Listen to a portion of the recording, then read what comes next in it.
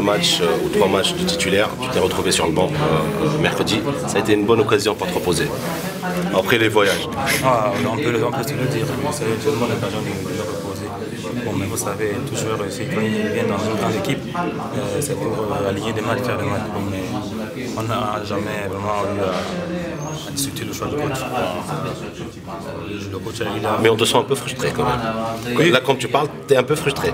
Non, non. Tu ne discutes pas, mais il y a une petite frustration. Non, non, pas une frustration. Vous savez, à chaque joueur, euh, sa mentalité. Tout simplement. Toi, tu es un gagneur, tu veux toujours jouer. Oui, je suis un gagneur. Pas seulement, je veux toujours, je veux toujours que mon équipe euh, aille dans la gagne. Oui. Mais, vous savez, au coach pouvoir choisir qui peut la victoire.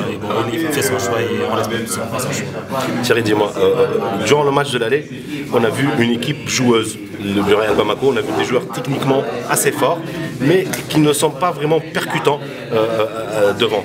Euh, lors des deux euh, passages précédents en Ligue des, des, des, Champions, ils ont gagné leur qualification à l'extérieur. Est-ce que tu as cette petite appréhension de que ce soit un match piège dimanche?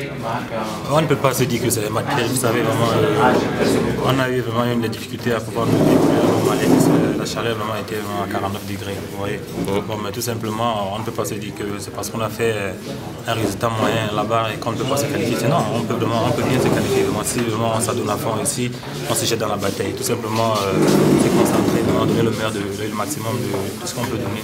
Et je crois que la qualification sera dans la poche. Merci.